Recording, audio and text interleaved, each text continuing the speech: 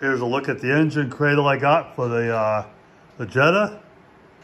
This should be a bolt-in unit for it to fit between the shock mounts. And where it will go is in between these shock mounts right here. So I'm gonna do is I'm gonna take the motor mounts off the engine, put the, the new motor mounts that came with the kit on the motor, and then we're going to put the cradle in. And hopefully it won't be too bad. In, 14 millimeter.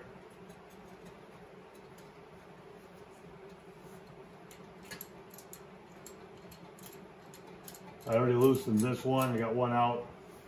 I'm gonna pick the engine up just a little bit more.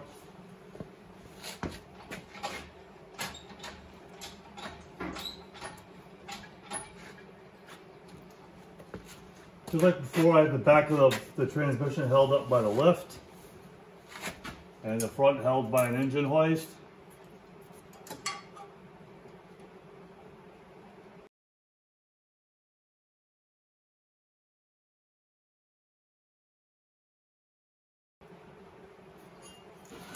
Okay, this is what we had in there. And this is what comes with the kit. So it bolts up, it's the same. So we replace this with the new one.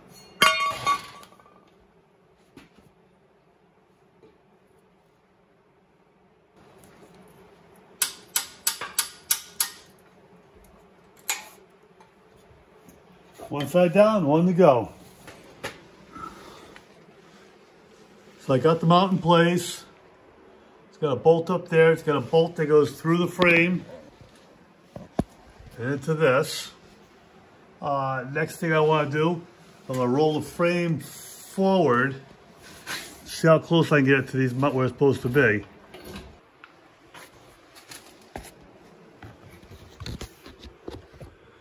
So I got the motor lowered down a little bit. Uh, I put the go jacks underneath all four wheels so I can move this thing around. And we're going to try to line this thing up. We're gonna try to roll it forward. Pretty close. I go over to the right. So we push it straight in. Of course it's hitting, so it's not really wanting to. I'm sliding the whole truck over.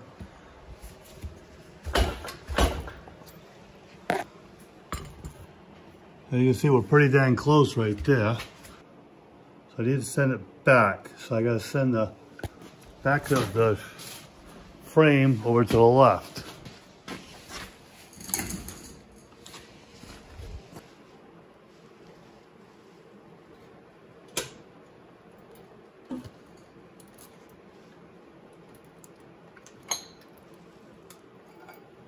All right.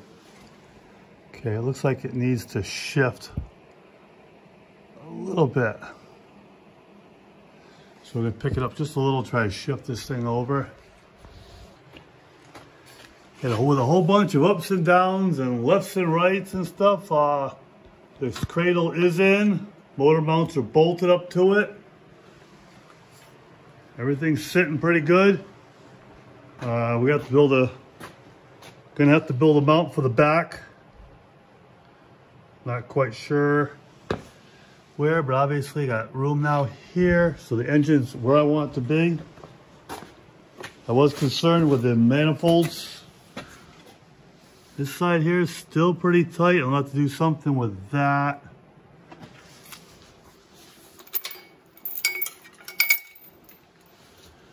But it's clear, so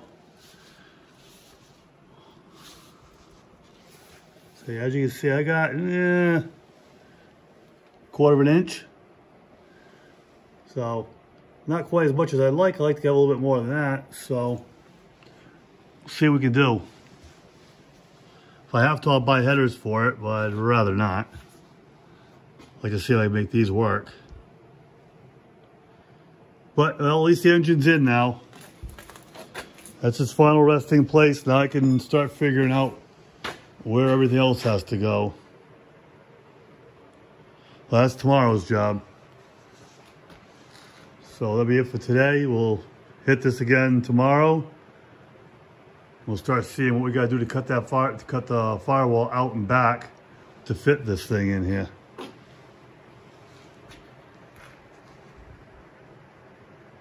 Last night we got the motor mounts in in the front. So now the engine's sitting where it's supposed to sit. The back, I just have a chain wrapped around.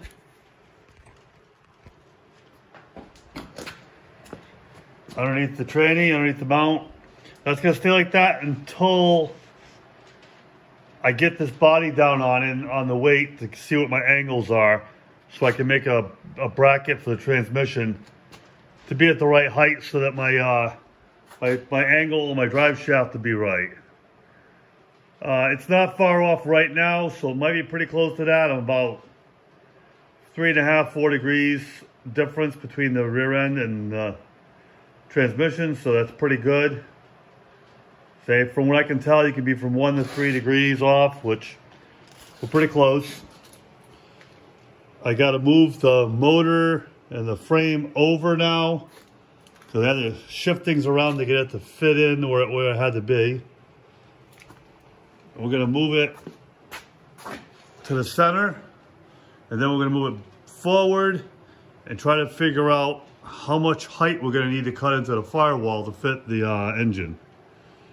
So first thing we're going to do is get the body lined up where it needs to be, pull it forward in the engine bay enough that I can drop it down and try to get a, an idea of where I need to cut.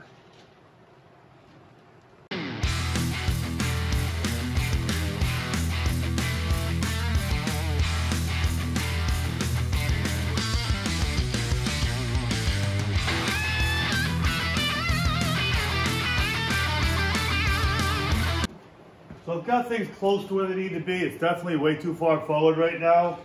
What I'm gonna do now to get a better idea is I'm gonna measure from the frame, the, the frame mounts I have here to the body mount, see how much further it needs to go down.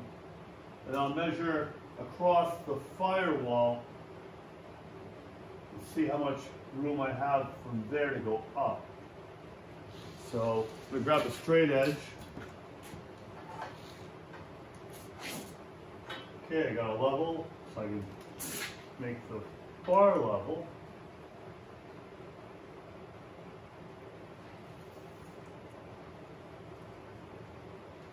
And look at that, 12 inches.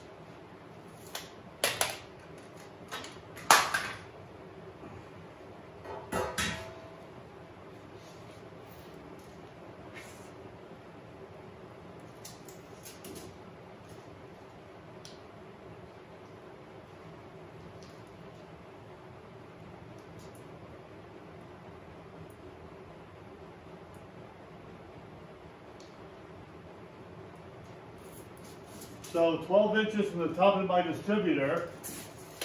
I'll show you where that goes to. 12 inches from the top of the distributor puts me at, see now I need a pointer. Can't quite reach that far. All right, here we go. Brings me to about this body line. So my first cut is gonna be probably right along that body line, right across here. We cut this off, down, and then, and then we'll figure out how far in it needs to go. So that's our first cut, so we're gonna start there. So looking at the back of the distributor, going straight up, it looks like somewhere, so I can get it right about here. So I'm gonna cut further forward at these holes right here. And I'll take this, this uh, heat shield out. So we're gonna cut it, looks like about 12 inches. It's quite a bit. but gotta do it. Gotta get this thing, give it some room. Well, might as well get the engine on it, get everything out of the way and start cutting and see what we have.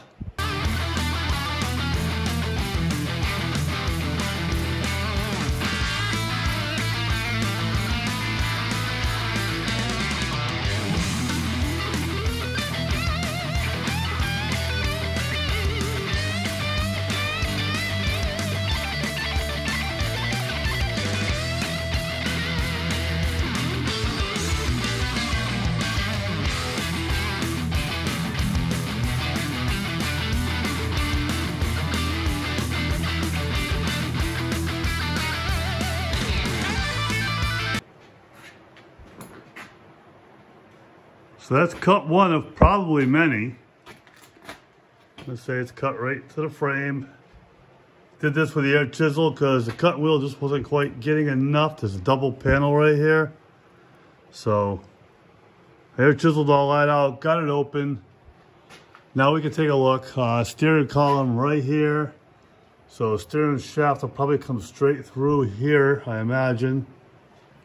Maybe more will come out, maybe, I don't know.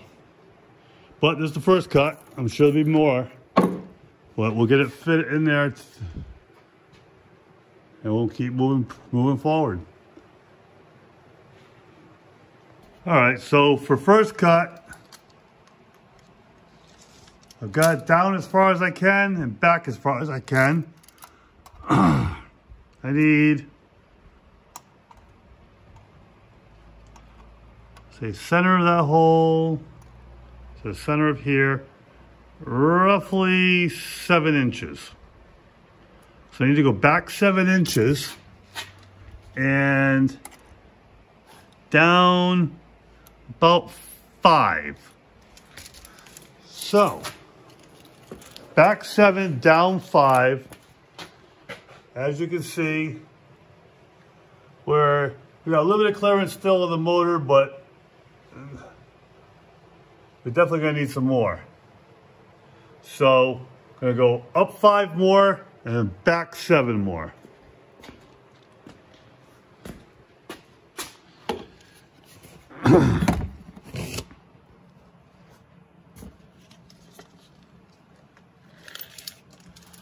But you gonna put a lot of this engine, dang, right up there. Let's see, seven inches from here. Yes. Well, we have two to the engine. So we could probably do five. I want to have enough room there. We're fine width-wise.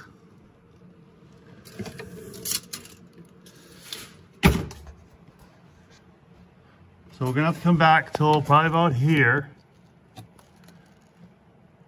And Say width-wise, we look fine.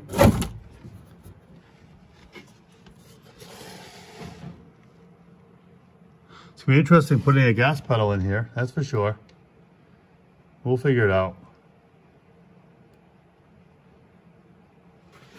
Yep, same over here. Got plenty of clearance. What I'm thinking is I'm gonna make a tunnel for this like you would in a van. Something I can take out work on the engine, put it back in, because I really don't want to have to pull the body off every time you want to change spark plug or change a wire or work on the vehicle. So I'll give it room. I'll make a tunnel, make a, make a cover for it that can come off from the inside and make it accessible.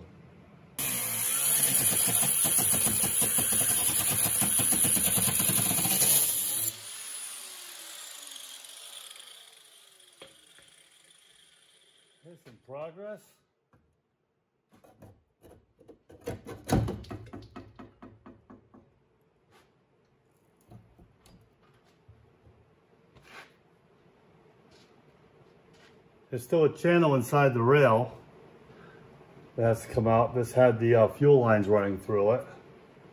But obviously those aren't there anymore. Uh, a little more cutting inside to do. So I'll have to set it back down get that cut and then we'll have to go back on the other side.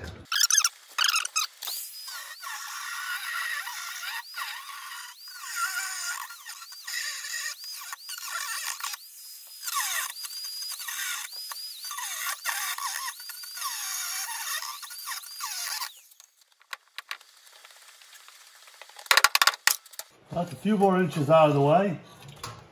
We'll have to set this thing down and we'll bring it back and see how we're doing.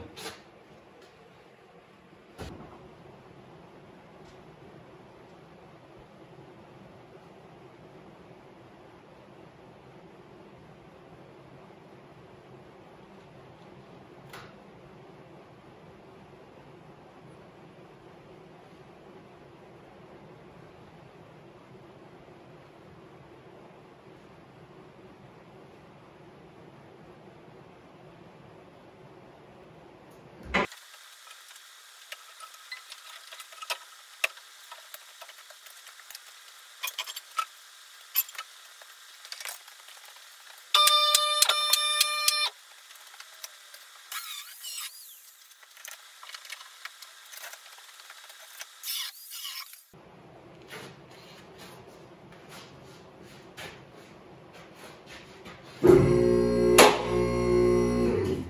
so we've picked the body back up out of the way. We've rolled the, the frame outside. Now you can see pretty good. Everything's worse. That's where the mounts are supposed to be.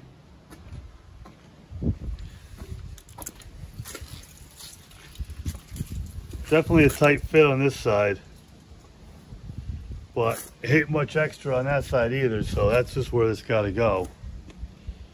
Say we'll put a, uh, we'll make a mount once we have the body back on this. We're going to have to put the shock mounts where they belong. I'll measure them off of that Jeep. Make sure I get them in the right place. So they'll be where they belong. Shocks obviously here go right up. I got longer shocks for the four inch lift. So now that everything's out of the way, I'm gonna drop this back down to a nice working height and take that five inches out of the dash. What I'm gonna do is cut it right at the seam here, just below it, all the way up, around, and down. Then we'll drop it down both sides, and hopefully there's enough room there to get everything in there we need to.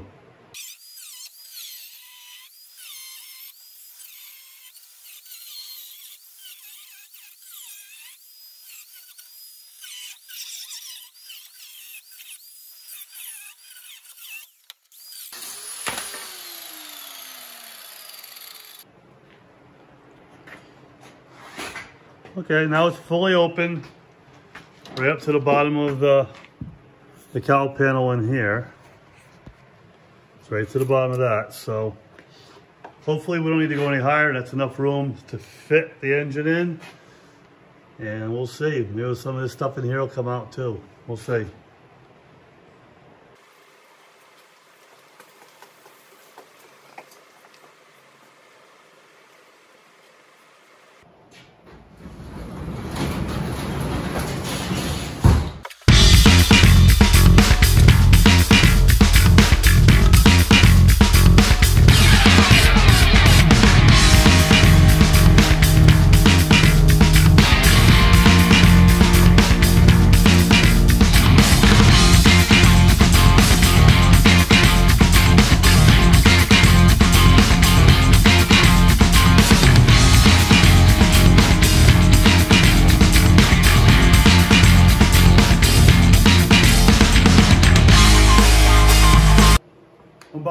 Inches away from the hitting, and now it's hitting the transmission, but we are clear of the motor at least, so there's progress. Tranny's hitting, so I'm gonna have to cut part of this hump out of here and see where that can lead to. So we're down to about three inches from touching. What I have going on is the front of the tunnel is hitting the transmission, so I gotta cut some more of that off. And the floor is just about touching the exhaust. So I'm gonna cut a little more of the bottom of the floor out so the exhaust is clear. Uh, I gotta do that on both sides. So we're gonna cut that out and then we'll see where we're at. Yeah, it's a mess, but it's in. Got about a hand, probably four inches above the throttle body. Not sure if that's gonna be enough. If it ain't, I'll have to cut up into the fire, into the uh, up here. It is what it is. If I have to do it, I have to, I'll make it happen. Uh, everything else looks good. I got plenty of room around. Uh, still kind of tight right here putting oil in. Uh, maybe we'll find a better way. I don't know. Oops, that light's a little bright back there. But it is in, it's tight. We'll have to make some more adjustments, make more room. But I'm clear now here, I'm clear here, and I'm clear on the other floor over there. So we're all clear. It's bolted down here, just hand tight, but it's, the body's on the on the chassis now. It's so as you can see, just hand tight, but it's there.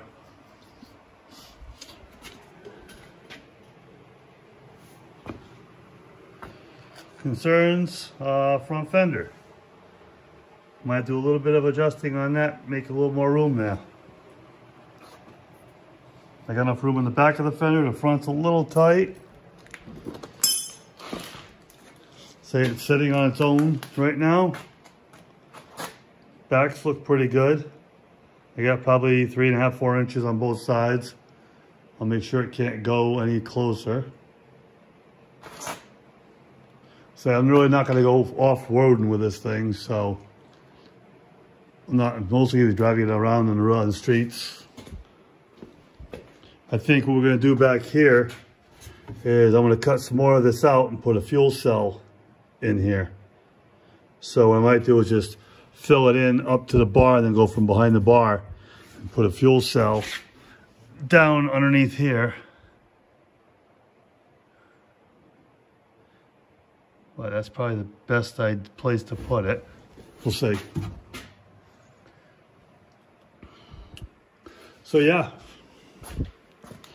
now that it's on the frame, the frame fits. I'm really not looking to get it running yet. I want to get it painted first. I want to know all that's done. I want to take the frame, I want to get the frame painted, get that done. Then start Mickey Mouse and getting all the stuff to fit. Because I really don't want to put all this together and take it all back apart. So I'm thinking do it once and be done with it. So there you have it. Next we're going to do is start getting this, the quarters and the roof and the fenders sanded like the doors and the trunk and hood are. And uh, to trim that fender.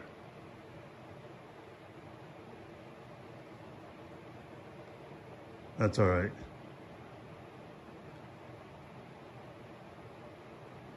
We'll get a little more room that way hit, it won't hit at least. Because you know hitting a bump somewhere, I think it's going to hit.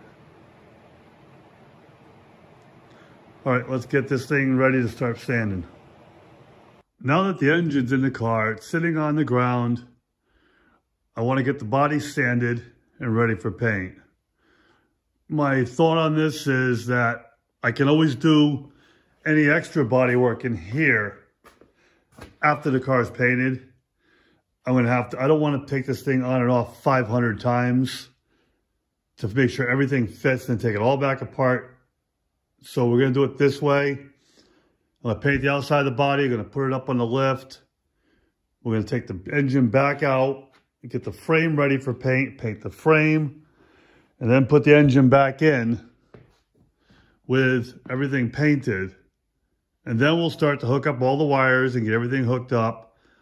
We should be fine otherwise.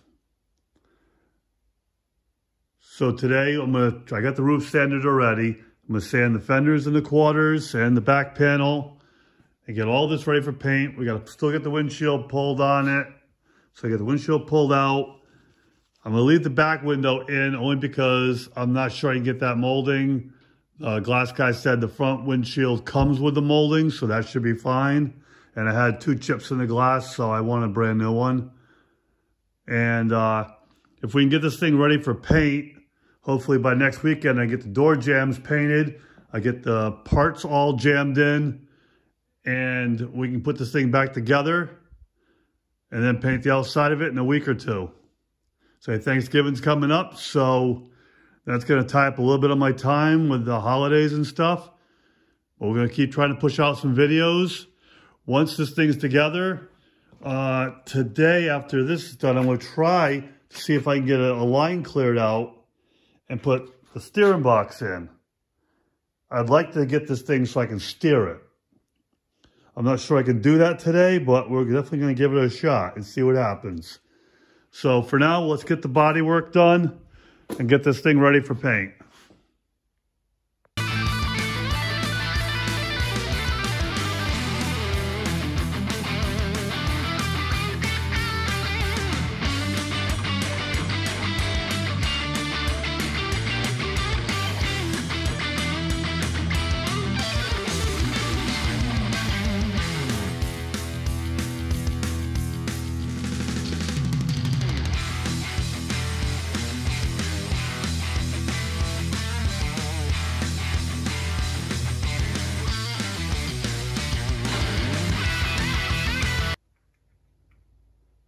Now the fender's done, we're going to hit on to the quarter panel. Uh, just a note on sanding. Uh, when I'm done with the block sanding, I go over all my edges, all my corners, and any spots I see that are left over that have a little bit of a black on them, I don't want it to show. And you sand all those edges. Uh, just a note though, so I can do this in camera. All right, when holding your sandpaper and sanding, see my fingers? If you sand that way, you're going to leave a mark. Now, those are going to leave grooves in the paint. Even close together, there's still grooves in the paint. How you want to sand it is sideways. Sideways. No grooves. So keep that in mind if you're going to do some hand sanding. Up and down along the, the, along your hand is going to leave grooves in your paint. And that's going to be wavy if you leave that. You want to go side to side to keep it a nice smooth finish.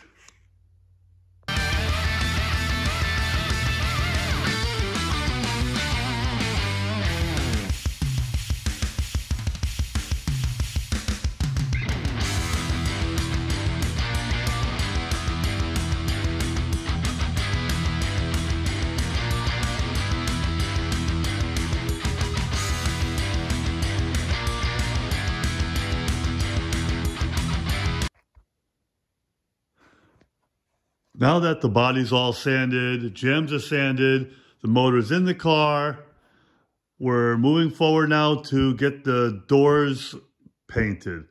Uh, what I want to paint is the insides of the doors and the door jambs on the car. As you can see, these are already been scuffed with a red scuff pad, but I still need to do the insides of the doors, the hood, and the trunk. So, we're going to wrap this video up here. And we're gonna, next video, we're gonna get that stuff all prepped ready for paint. I ordered some more paint. Uh, I wanted to put a, uh, a, a black candy over the red that I'm to paint this car to make it a little darker. Uh, you'll see that probably in the next one or two videos. Uh, say as soon as the paint comes in, I can start doing some testing with it and see what I like. Say the the black cherry itself, it was okay, but I just wanted it a little bit darker. So we're going to go with a black candy over it and see what we can do to make this car definitely special. Uh, thank you guys for watching. Uh, please hit the like, subscribe, notifications, leave a comment. I really enjoyed the comments. Uh, and, well, you know, we'll catch you in the next video. Uh, thank you very much.